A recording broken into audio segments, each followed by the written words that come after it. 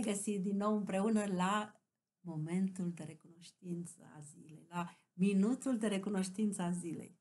Încep cu recunoștința mea pentru voi, cei care mă urmăriți, pentru cei care uh, mi-a scris din nou, avem aproximativ 40 de mesaje, deci mă bucur foarte tare, fiindcă în fiecare zi menținem acest uh, ritm, să spun, uh, uh constant, este, este o veste bună. Deci uh, se pare că sunt în jur de 40 de persoane care uh, merg pas la pas cu mine în această recunoștință. Acum, dacă mă uit de când am început recunoștința, numărul celor care au vizionat această recunoștință a scăzut, pas cu pas, pas cu pas.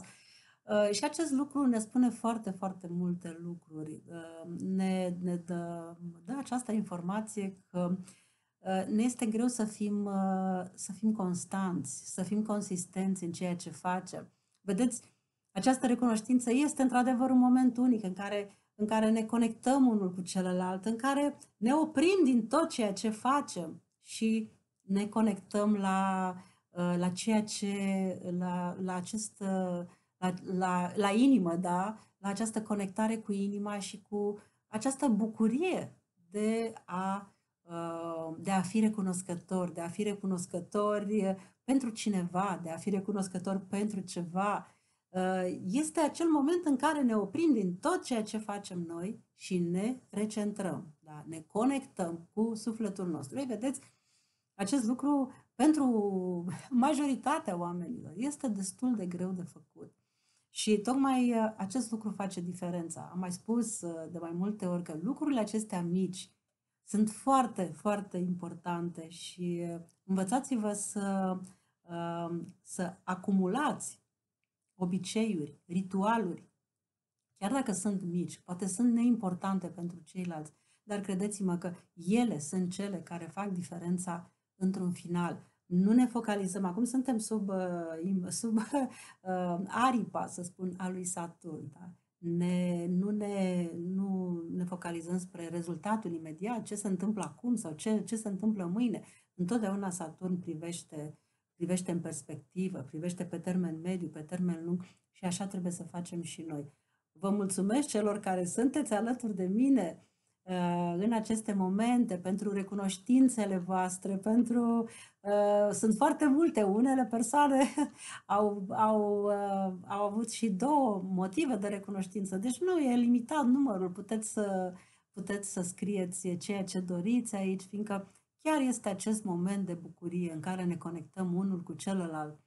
Uh, Cristina, Cristina din Lombardia, am și stat de vorba despre ea ieri, multă sănătate, am înțeles că a fost în concediu medical și va începe lucrul de luni, dragă Cristina, ai grijă de tine, protejează-te și să fii sănătoasă și să auzim de vești, uh, numai vești bune din partea ta. Uh, Emanuela, de asemenea, ea e recunoscătoare uh, Uh, pentru că vecinii ei medici la Suceava se simt bine. Vedeți? Această empatie, uh, empatie cu ceilalți. Deci uh, ne centrăm și pe noi, suntem recunoscători și pentru tot ceea ce ni se întâmplă în viața noastră, dar foarte mulți cei de aici vă duceți cu gândul și la ceilalți, ceea ce este minunat. Uh, Nico, Nico este recunoscătoare că simte ea că în această, în această perioadă, vedeți, este și postul Paștelui, este această, aceste săptămâni ale patimilor, avem această șansă, cum spune ea, a reînvierii puterii personale, pe care ar trebui să încetăm să mai căutăm altundeva, ci doar în noi. Drept, așa este, Nico, ai, ai mare dreptate. De asemenea, Lucia, Lucia Munteanu, prezintă foarte frumos, uh, uh, după Greg Braden, uh, ce înseamnă anxietatea, starea aceasta de frică, da? Și ea, practic, enumeră aceste faze prin care trecem. Prima dată starea de negare, după aceea frică, frustrare și după aceea perioada de depresie dacă nu ne centrăm, fiindcă depresia nu este obligatorie. Da? Toți trecem prin aceste etape. Ehm, ar fi ipocriși cei care ar spune că ei sunt zen și că nu trec, decât cei care sunt sfinți sau nu mai sunt aici. Da? Dar este foarte importantă atitudinea noastră față de, față de, de aceste stări.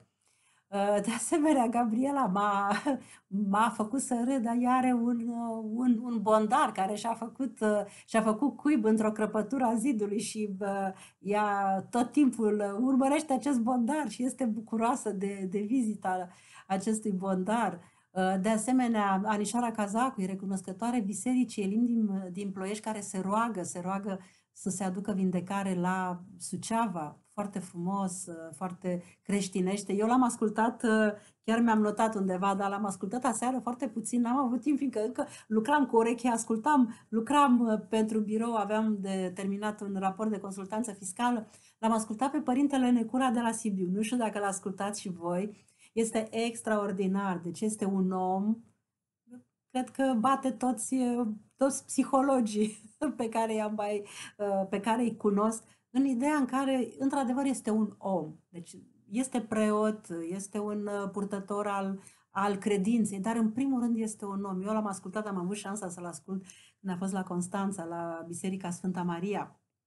Am, uh, am aflat de la prietena mea, Sena, că vine acolo și am fost și am stat o oră jumătate ca hipnotizată. Deci, efectiv, credeți-mă, n-am putut să mă mișc de pe scaun. Uh, a primit așa un, un malder de, de bilețele le-a luat pe fiecare în parte, cu multă, multă răbdare și a răspuns la fiecare bilețel în parte atât de frumos și atât de uman încât efectiv m-a impresionat. Și aseară am ajuns, uh, navigând puțin pe, pe internet, uh, am ajuns și pe, pe pagina lui de Facebook, are o pagină de Facebook, Părintele Necula de la Sibiu. Chiar vă, vă invit să, să-l ascultați și mi-a plăcut ce a spus. Mi-am notat, mi-am notat, fiindcă mi-a plăcut foarte mult și aș vrea să vă, să vă, să vă prezint și vouă. Apropo de bucurie, da? fiindcă vorbeam de depresie. Vorbeam de depresie și uh, acum uh, uh vorbim despre, uh, vreau să vorbim despre opusul depresiei. Uh, depresia apare atunci când nu mai există bucuria de a trăi, da? Și bucuria, cum a definit-o Părintele Necula? a definit bucuria ca fiind deschiderea conservei de singurătate, wow, ce metaforă, și umplerea ei cu harul lui Dumnezeu. Minunat! Deci mi s-a părut, mi s-a părut fascinant. Ă, de asemenea, Iuliana e recunoscătoare vecinilor mamei, tatălui, care au grijă de ea, da, este foarte important, așa cum v-am zis și eu, și eu sunt recunoscătoare fiecare zi, mă rog în fiecare zi pentru, pentru doamna care, pentru doamna care, pentru Aura, care are grijă de părinții mei, se duce în fiecare zi la ei și îi îngrijește. Deci este extraordinar și toate, toate rugile mele sunt îndreptate către ea. Uh, de asemenea, uh, mi s-a părut foarte interesant uh, mesajul Maricică Mihalcea, care ea a venit cu o recunoștință către fostul ei soț, care împlinește o anumită vârstă. Ei sunt despărțiți de 17 ani și astăzi s-a conectat la el și îi mulțumește pentru copii, cei doi copii minunați pe care i-a dorit. Deci foarte, foarte emoționant. Vedeți cum, cum ne schimbăm deci în aceste vremuri, cum vedem lucrurile dintr-o cu totul și cu totul altă perspectivă. Și ca să facem trecerea la, la, la recunoștința zilei de azi și la ziua de azi, astăzi este ziua de 3. Este ziua de 3 aprilie, este o zi de împărăteasă, da? Uitați-o aici, împărăteasa, uh, așa? Deci împărăteasa aici este din, uh, din tarotul uh, Rider White, aici este împărăteasa din tarotul de Marsilia, da? Este și, și Venus, vedeți aici în, uh, în tarotul Rider White este și simbolul lui Venus. Am uh, postat uh, uh, uh, acea prezentare a perioadei 1-10, primul decan din, uh, din luna aprilie, 1-10 aprilie 2020 și astăzi, data de 3, este intrarea lui Venus în Gemen. Deci, Uh, uitați-vă pe această postare, vedeți că astăzi avem, chiar este ziua, ziua aceasta venusiană, este ziua de împărăteasă, ziua de, de conectare la uh, stima de sine, la puterea noastră personală, la împărăteasa din noi. Deci este o zi o zi de împuternicire și să nu uităm, astăzi este și vineri, da, este și vineri, este și ziua lui Venus. Deci ziua de azi este o zi venusiană. Nu degeaba m-am trezit eu așa cu foarte multă, cu o stare așa de bucurie și o stare de împlinire azi, fiindcă mă simt că credeți-mă, mă simt ca o adevărată împărăteasă. Și nu numai acest lucru, astăzi mai este un, uh, un motiv în plus, astăzi este luna, unde credeți că este, dacă știți, în leu. E, luna fiind uh, uh, în leu, ne simțim noi așa mult mai, uh, mai împuterniciți, ne simțim unici, simțim că merităm lucruri mult mai bune și dorim ca lumea să ne admire, să ne iubească uh, și astăzi ne conectăm cu tot ceea ce ține de individualitatea noastră, ne conectăm cu iubirea, ne conectăm cu copiii, este acel moment în care puteți să vă conectați cu copiii voștri. Avem acea, acea tendință și eu, credeți-mă, chiar m-am uh, simțit să mă simt mult mai puternică. Da? Astăzi m-am simțit, m-am trezit așa cu un uh, boost, cu o energie, m-am sculat de la 6 dimineața să pot să fac uh, filmarea pentru perioada astrală. Ce ne spun astrele da? în perioada 1-10 aprilie? Am avut un conference call, încă un conference call, acum sunt alături de voi. Deci astăzi am acest, uh, această tendință și simt că sunt mai puternică și mă bucur de viață. Mă uit ce afară, e frumos, e senin, e soare, mă bucur de viață și vreau să strălucesc astăzi, vreau să fiu împărăteasa, împărăteasa vieții mele și în același timp, uh, dacă am timp, mai vreau să mai fac și niște lucruri creative. Îmi lipsesc foarte, foarte mult în zona aceasta de creativitate, zona artistică, uh, fiindcă am niște idei și să vedem dacă am timp și mi ies mai pe după amiază. Acum legat de această energie a leului, uh, Uh, mi-a luat înainte Alina Marian ieri, a scris recunoștința zilei pentru ea ieri a fost se îndreaptă spre momentele când a reușit să se bucure din tot sufletul ca un copil posnaș pur și de plin. Este o altă prezență, o altă prezentare a acestei energii a leului. Dragă Alina, nu te bucura de momentele când ai reușit să te, să te bucuri ca un copil poznaș. Bucură-te, Bucură-te în prezent, acum, azi, astăzi, mâine. Deci luna în leu uh, va sta până în data, în data de 5, în data de 5, uh, uh, de 5 aprilie, uh, așa încât avem uh, motive să ne simțim, să ne simțim uh, mult mai bine. Uh, haideți să vă citesc și recunoștința mea. Uh, am o recunoștință foarte interesantă astăzi, la fel uh, m-am conectat în această stare de, de bine cu niște lucruri care îmi dau această stare de bine. Azi sunt recunoscătoare pentru doza de sănătate pe care o primesc în fiecare dimineață de la picătura de ulei esențial. Și haideți să vă spun ce folosesc eu în fiecare dimineață. Deci în fiecare dimineață um, îmi iau un, un pahar, un pahar cu apă și în acest pahar cu apă în, îmi pun câte o picătură, două picături, de cum, cum curg, de, uh, și am așa, mi-am adus aici ca să vă arăt. Aceasta este tămâia, deci frankincense, deci tămâie, așa se vede bine. Tămâia care mi-aduce o stare de relaxare, o stare de liniște, o stare de bine. Da? O folosesc foarte mult și în același timp ne aduce și o stare de sănătate.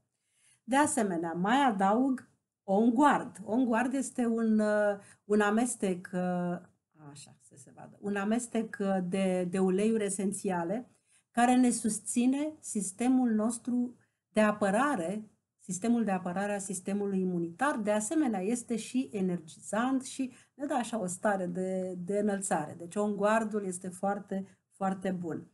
Mai folosesc lămâie. Câteodată mai folosesc uh, și Uh, portocală, dar acum uh, folosesc lămâie. Lămâie aceasta, acest ulei esențial de lămâie este foarte bun, fiindcă este foarte concentrat. Deci, uh, una este să, să, folosești, să folosești lămâie, alta este să folosești câte o picătură, fiindcă aici sunt nu știu câte, ne-a spus la prezentare când am fost câte, câte lămâi storci ca să le ai într-o, într-o picătură de, de lămâie. Și, bineînțeles, ne ajută această, acest ulei esențial de rămâie la creșterea și energizarea stării de spirit și eu mai folosesc, deci folosesc patru uleiuri, uh, oregano, care ne, mă, mă ajută pentru, îmi asigură aceste proprietăți antioxidante și în același timp îmi dă și acea senzație de încălzire. Deci în clipa când, când îmi iau acest pahar cu apă, beau apă și cu aceste uleiuri, ele se pot pune și în miere de albine,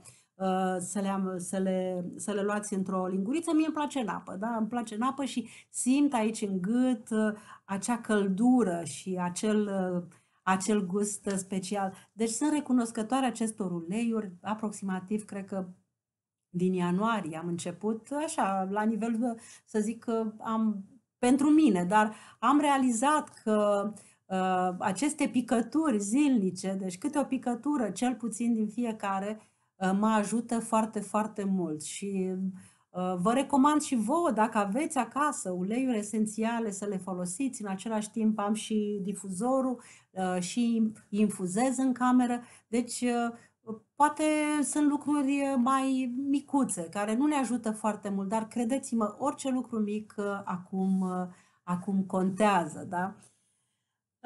Ce mai facem acum? Haideți să mai extragem o carte. Am spus că de fiecare dată Ehm, legat de, de recunoștința zilei, vom extrage câte o carte dintr-un alt set uh, oracol, astfel încât în cele 21 de zile, astăzi suntem în a 10-a zi. Am uitat să vă spun acest lucru. Deci, vedeți, suntem aproape la jumătate, la jumătatea călătoriei noastre de recunoștință. Este o călătorie minunată și, vedeți, zilele trec foarte, foarte, foarte repede. Și avem, uh, am ales tot această, acest set de cărți oracol pe care l-am, uh, l-am folosit uh, pentru, pentru prezentarea stelelor atmosferei astrale în săptămâna 1-10 aprilie, Whispers of Love, Șoaptele iubirii, fiindcă este un set atât de frumos, este atât de frumos și vreau să trag o carte, o carte pentru acest moment de recunoștință, pentru acest uh, moment de recunoștință în această zi de împărăteasă, în această zi de venusiană în care luna este în leu, este în, uh, în domiciliul soarelui. Deci uh, avem, avem o prezență foarte strălucitoare azi. Și haideți să vedem ce ce mesaj primim de la aceste șoapte ale iubirii.